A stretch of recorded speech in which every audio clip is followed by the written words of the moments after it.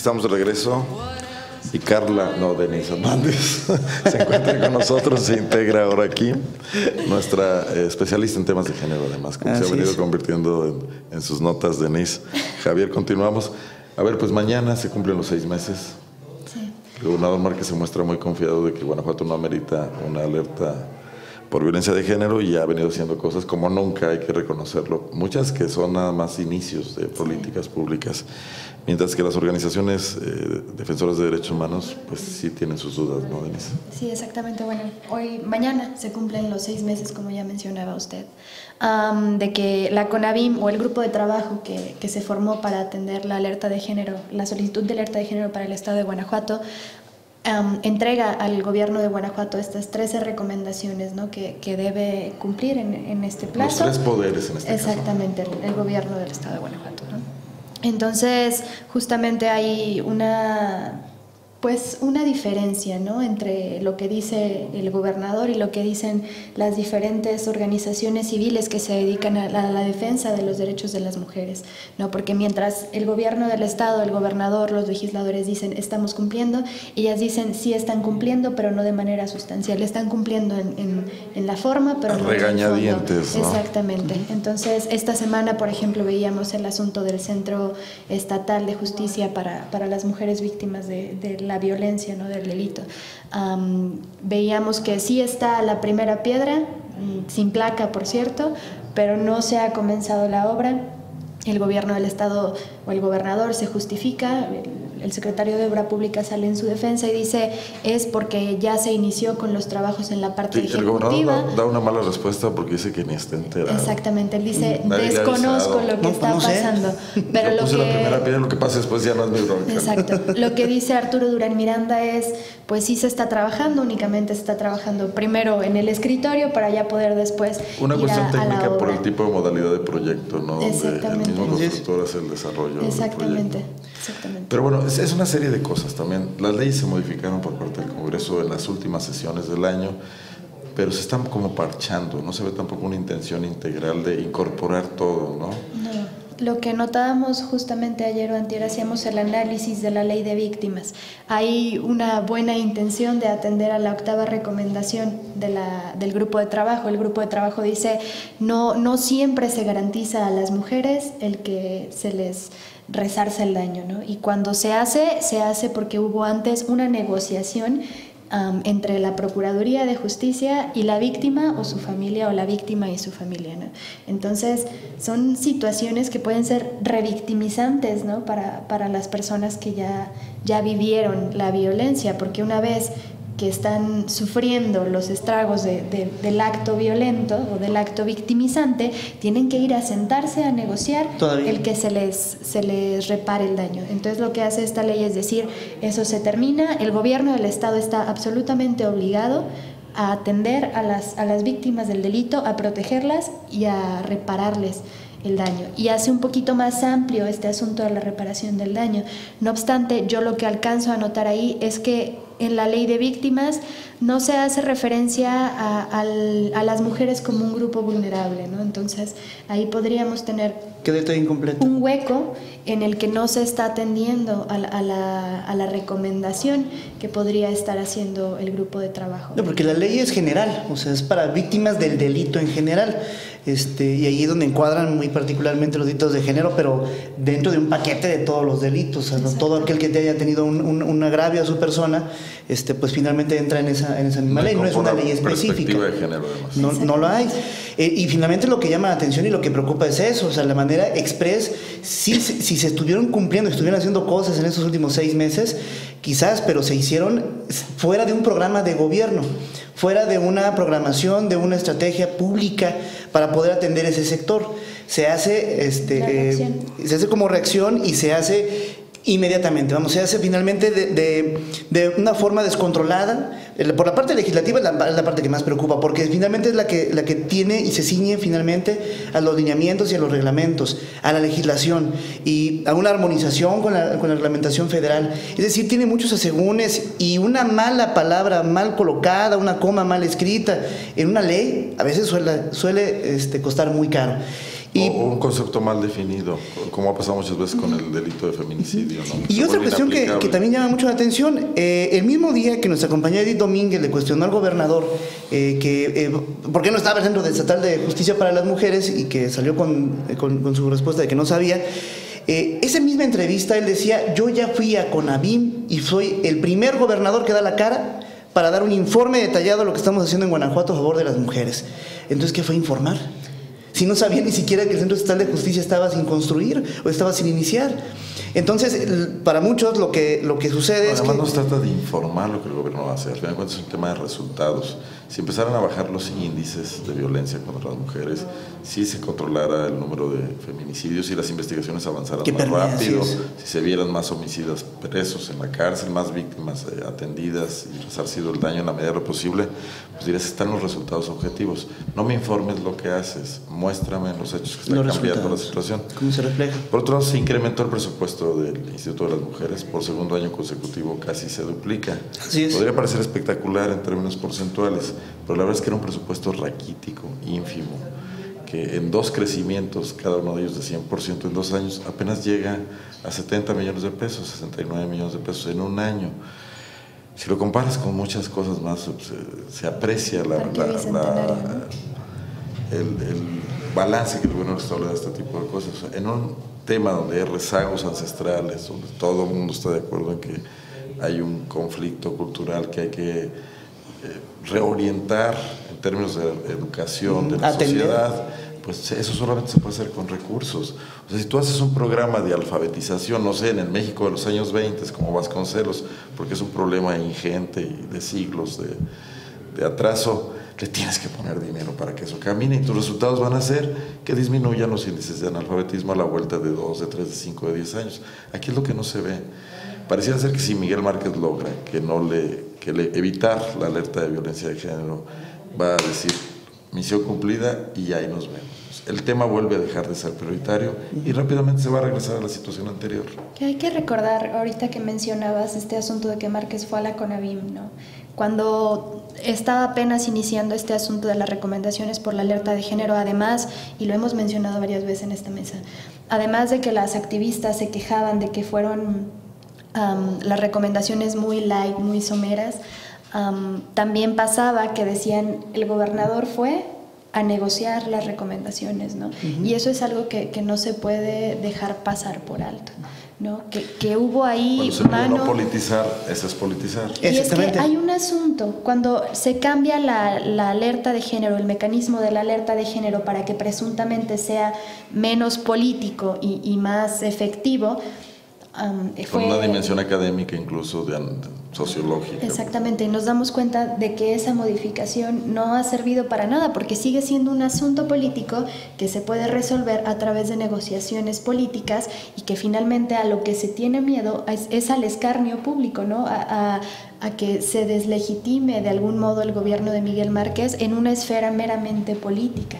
No, ya no viendo por las víctimas, ya no viendo por las mujeres, ¿no? sino si, insistiendo en, en, ver por sí mismo. Muy sencillo, si la negociación, pues, si cabe el término en, en, términos prácticos para, para un asunto tan, tan, tan este, eh, real, tan técnico, eh, si esta negociación hubiera encaminado a Adriana Rodríguez Vizcarra como la titular del Instituto de la Mujer Guanajuatense, eh, pues a lo mejor estaríamos hablando de otra cosa, no estaríamos hablando de un debate técnico, quizá no negociación, sino debate técnico sobre lo que está haciendo Guanajuato, los resultados que hay, el espectro, cómo está el, fenómeno social este, de, la violencia contra la mujer, pero no, es el propio gobernador y eso lo convierte ya en un asunto completamente político. Agregarle otra cosa, Adriana quizás es la que menos ha intervenido en todo el, eso es más preocupante. el proceso de seguimiento de las recomendaciones y la negociación. Eh, ha intervenido muchísimo eh, Plinio Rodríguez o Ramírez, el, encargado jurídico de la ah, gobernatura, Plinio Hernández creo que es, Tafoy su segundo apellido, y ha intervenido mucho Juana de la Cruz Martínez Andrade, que es eh, coordinadora de estrategia política, alguna cosa así. Así es. También en la gobernatura, o sea... Un, oficio completamente político. Ha mandado alfiles políticos a atender. Así es lo que preocupa es que cuando estos alfiles se dediquen a otra cosa, a las elecciones ahora, por ejemplo, eh, Adriana Rodríguez no va a tener los bártulos, ni, ni, va, ni va a poder decirle a las organizaciones, no te voy a cumplir lo que te ofrecí, porque ella ni siquiera lo ofreció. ¿no? Que no ha sido muy brillante, o sea, no brillante en cuanto a que no sea lista, ¿no? Sino su participación ha sido más bien bastante gris en, en, esto que toca a la alerta de género, ¿no? Incluso yo creo que cuando la vimos un poquito más activa fue cuando se lanzó este asunto del Código Naranja y lo del MOU del, de la ONU y ella, ella lo defendió, ¿no? Exacto, pero de ahí en más no ha habido actividad desde relevante. Su, desde su designación se cuestionó finalmente el perfil que tenía Adriana Rodríguez porque no, no es un perfil eh, meramente este, eh, social, tiene una, un expertise en temas empresariales, ahí sí y este, yo creo que no hay ningún problema. Y esto no es una cuestión de tener eh, que tener a una mujer en Instituto de las Mujeres, este, por, sino es el perfil de quién pones ahí. Y la han convertido finalmente en una oficina burocrática este, y ella pues como jefa de ventanilla. Y corre con la misma suerte Lourdes Cázares. Lourdes Cázares Espinosa, la, la titular del Consejo. También se ha mantenido muy al margen. Exactamente, la titular del Consejo contra la Violencia, para erradicar la violencia contra las mujeres también ha, estado ausente de estos temas, el Consejo tampoco se le ha visto muy en activo, esperemos que en estos días que vienen pues se les vea un poquito más presentes. ¿Tendrán que salir también a participar en el debate? Será noticia la semana que entra cualquier cosa que pase en un u otro sentido y las reacciones al respecto. Lo dejamos aquí, seguramente nos ocupará la próxima semana también, pero vamos antes de concluir la emisión de hoy a, les invito a una pequeña reflexión, o amplia, como ustedes quieran, sobre el papel que jugó en el periodismo mexicano Julio Scherer García, desaparecido esta semana, el maestro Julio Scherer, que ha recibido un reconocimiento unánime, realmente han sido dos o tres los señalamientos por ahí, con algo de mezquindad que pretenden restarle la importancia a la labor acumulada de años que significó el trabajo de Scherer en, en la historia reciente de la vida democrática de México, más allá del puro esquema eh, digamos, de los medios de comunicación. ¿no? Bueno, eh, hablar de Julio Scherer es hablar finalmente de un... Eh, podríamos llamarle en esos términos, porque así fue, un caudillo del periodismo. Se volvió caudillo en el momento en el que eh, se atrevió a retar el estatus eh, político que había en ese momento en México, en 1976. Un líder, ¿no? Me gusta más la palabra líder que caudillo. Bueno, lo que pasa es que... un poco antidemocrático. Bueno, lo que pasa es que hablamos, yo hablo, hablaría de caudillo, pero en el sentido de este, finalmente una defensa meramente periodística.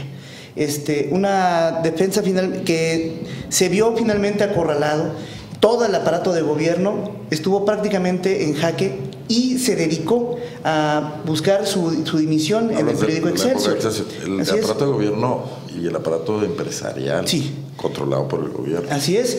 Este, eh, ha sido muy elocuente finalmente esas historias, creo que ya muchos la conocen, cómo los empresarios van a pedirle ayuda al presidente Echeverría porque Excelsior se viraba peligrosamente a la izquierda y al comunismo y entonces es cuando corre Echeverría y, él ve la oportunidad de eh, eh, enviar finalmente infiltrados en las asambleas del, diario, que es una sociedad cooperativa y una, una opción que, que, ha sido este, muy poco atendida actualmente para medios de comunicación. Pero entonces a partir de ahí Julio Scherer se vuelve una figura este, importantísima por varias cuestiones. Ahí yo, yo, diría que trasciende, ya era una figura periodística. Sí, sí, sí, por supuesto. Pero lo trasciende para convertirse también en un activista de la apertura democrática en México, involuntariamente. Yo creo que ni se lo propuso. Porque lo hizo finalmente bajo su oficio, bajo lo que él sabía hacer, bajo los esquemas periodísticos. Y entonces ahí eh, yo creo que salta algo a la vista. Era alguien importantísimo para crear talentos y hacerse de talentos. Eh, yo creo que parte de su fortaleza es la credibilidad que él eh, emanaba a los demás eh, colaboradores que salieron de Excelsior y fundaron con él este, la, revista Proceso. Y, lo impresionante es que hablamos de fotógrafos, caricaturistas, analistas políticos, intelectuales, artistas, el medio académico y toda la gama de periodistas importantísimos que lo acompañaron el poder juntar todo ese equipazo, para llamarlo en términos este, más sencillos, poderlo coordinar, poderlo liderar y empujar una revista que está a la altura de, yo creo que la revista alemana del Spiegel, este, medios de comunicación impresionantes que se dediquen a hacer periodismo crítico. Y creo que apostarle a eso, en los momentos en los que Julio lo hizo, tiene un gran valor, porque estamos hablando de un México diferente al que, que estamos viviendo, un México eh, mucho más autoritario, un México que no tenía una diversidad ni una pluralidad política, y el que lo haya hecho y haya propugnado por una libertad y un acceso completo a la información, eh, me parece que es algo muy valeroso. Y después yo creo que ya a los últimos años de, de su vida, la humildad y sencillez de un hombre que se, le, que se vio a sí mismo como un periodista, como un reportero no se vio nunca como una figura a seguir, no se vio nunca como un líder de opinión, nunca se percibió a sí mismo como una figura incansable. Simple y sencillamente su lema era, el trabajo habla por mí. Y creo que eso este, es algo que debemos de aprender muchísimos, muchísimos de nosotros que nos dedicamos a este oficio, eh, en pos de finalmente tener un eh, periodismo y una libertad de prensa este, que se gane ese derecho a pulso, ¿no? con el oficio del periodismo. Yo Javier le decía en la semana que era el biógrafo de Scherer, porque toda la semana como que ha estado sacando, no sé, anécdotas y de repente como que recuerda personajes que lo han, han estado cubriendo, ¿no? Entonces ha sido bastante... Tu generación, Denise, tú que eres una joven periodista, ¿cómo, a mí, ve a Scherer? Yo creo que hay un antes y un después con proceso. ¿No? también hubo un antes y un después con reforma, pero esa, esa ya es otra historia, ¿no? Es, es el, el, hacer un periodismo distinto al que se hacía en aquellos momentos en los que los medios de información estaban tan controlados por el gobierno. ¿no? En estos momentos podemos seguir viendo ese control gubernamental sobre los medios de información, y a lo mejor se nos hace una cosa espantosa, pero en aquel momento no había otra, ¿verdad? otra sopa. Que la oficial. Entonces, el, el, que Scherer dijera, ya estuvo bueno, y empezar a hacer un periodismo distinto, abona justamente a eso, a la democratización del país, ¿no? No es únicamente el, el que se haya abonado al periodismo, sino que ese periodismo que se hizo cambió la vida democrática del país y con ello cambió el sistema político mexicano, aunque muchas veces no se quiera ver, aunque haya de detractores ¿no? de Julio Scherer, que no, no fue Julio Scherer solo, ¿no? fue Julio Scherer y un equipo de... Pero esa era la ventana donde se canalizaban muchas cosas. sin ese medio de comunicación hubiera sido muy complicado. Exactamente, y de ahí podemos ir viendo cómo, cómo ha ido cambiando la noticia, ¿no? y a lo mejor no nada más la noticia, sino el periodismo y, el periodismo de investigación, ¿no? Cómo, cómo ha ido dando un vuelco hacia otras realidades, ¿no? Muchas veces se le critica que por la izquierda, que por lo tendencioso, que por lo que sea. ¿no? Y no dijo en dónde estaba. Yo rescataría un aspecto, adicional a todo lo que ustedes han dicho con lo que estoy de acuerdo. ¿Tú lo leíste en plenitud? Sí, bueno, el proceso fue muy importante para mi generación, ¿no? Y ciertamente era un oasis leer el proceso el lunes, después de escuchar todo lo demás, y después uno más uno, y después la jornada también. La jornada. Pero era proceso de la punta de lanza. Pero lo relevante es cómo Scherer logra volver proceso un proyecto autosustentable, que está a punto de cumplir 40 años, con el boicot encima de la publicidad oficial que siempre lo tuvo con José López Portillo. Nunca tuvo las puertas abiertas, no obstante ser la revista de mayor circulación en México. El intento siempre de crearle competencias auspiciadas por el Estado, semanarios que han desaparecido y que han tenido vidas fugaces. Y por eso ahí está constantemente sosteniendo a esos periodistas, volviéndose una militancia también de la gente que participó ahí, que no excluye las disidencias, como sabemos que mucha gente ha salido del proceso. son procesos, son situaciones normales, ¿no? Pero, un saludo, un saludo a Carlos Marín. Han salido, ¿no? Un placer. Paco Spinchetti, por ejemplo, También. otras cuestiones. Pero que han salido para aportar en otros lugares cosas, ¿no? Sí, así es. Pero el hecho de que Scherer se haya planteado una revista que iba a funcionar financieramente en base a su circulación, para no depender de la publicidad, que era la salida posible en ese momento, fue, también una cuestión de genio empresarial. y ya me estoy quedando sin voz. Yo creo que aquí lo dejamos, si les parece. Ya despides el programa, por favor, Javier. Claro que sí. bueno, este, pues bueno, yo creo que sería mucho agradecer. Esta es la primera interlínea del, del año. Nos vemos el próximo lunes. Arnoldo, ya compuesto de tu voz. Espero que sí. Seguramente. Bueno, a nombre de Arnoldo Cuellar y de todo el, equipo de Zona Franca, les agradezco mucho su permanencia hasta este momento. Javier Bravo, Denis Hernández, Arnoldo Cuellar. Nos vemos el lunes. Pásela bien.